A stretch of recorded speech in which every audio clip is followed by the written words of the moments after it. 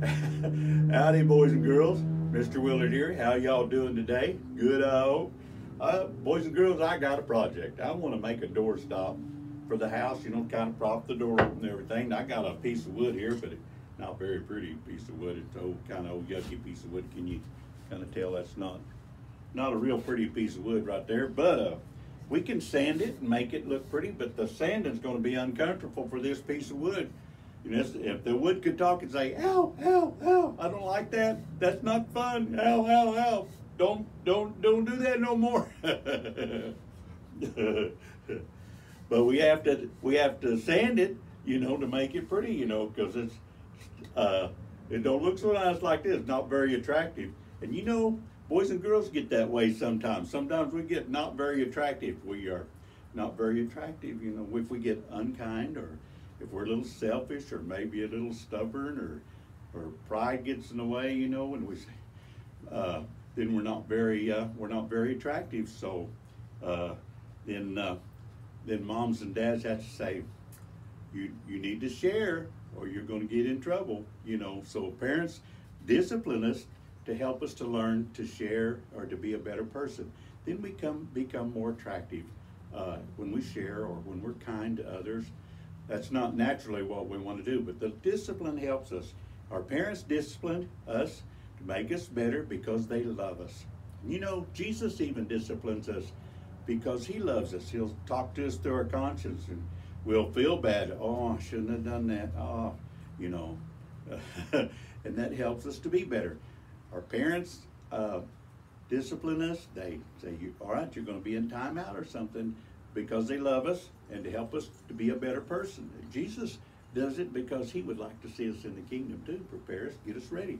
And sometimes it's so there's so selfishness and pride and kind of gets in the way like this uh, stuff on this this board. But let's see if we can get some of this off and and uh, discipline this board a little bit here. So we're gonna make some noise. Now this board, he ain't gonna like it. If you could, this piece of wood could talk and say, ow, ow, ow, ow, don't want to do that. Here we go. Oh boy. Look at that.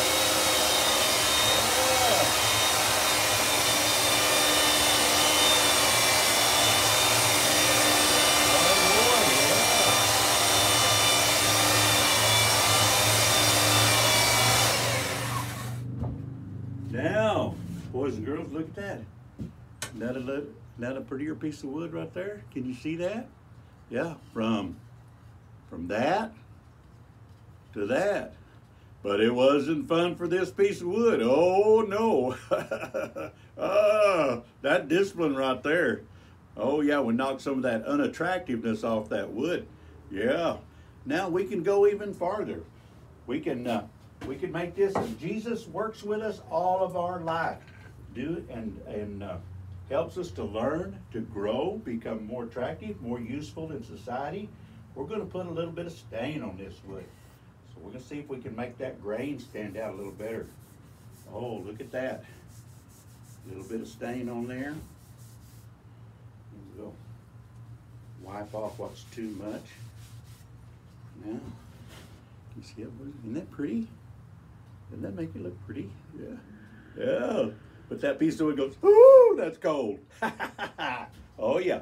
But we're not done yet. Now, sometimes this work takes a lifetime, you know, but takes a while to for the Lord to do it in our life. So we'll put a little bit of we'll put a little bit of finish on there.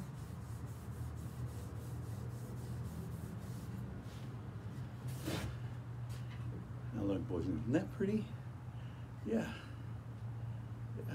From this to this. That's how we grow, boys and girls. That piece of wood, it goes, oh, I don't like that. Well, that when we sanded it, that was uncomfortable for that piece of wood. And discipline is uncomfortable for us too. But it helps us to be more attractive and a better person. You know, boys and girls, Romans 5 3 says it makes us better. And then Revelation 3 says, Jesus says that he disciplines us because he loves us. Now, your parents, if they didn't love you and they didn't care, they wouldn't discipline you, but they they get put you in timeout or sometimes have some kind of punishment to help you to be a better person. And they do that because they love you. So our parents discipline us because they love us, and Jesus disciplines us through our mind, through our conscience. If we do something wrong, then our conscience will bother us. Yeah, and that's Jesus speaking to us the whole through the Holy Spirit. Say, shouldn't have done that. yeah, yeah, you know. yes, because boys and girls, we have a heavenly Father that loves us very much, and uh, He helps us. He helps us to grow through discipline. It's not fun, but it sure helps us to be a better person. Till next time, y'all be good.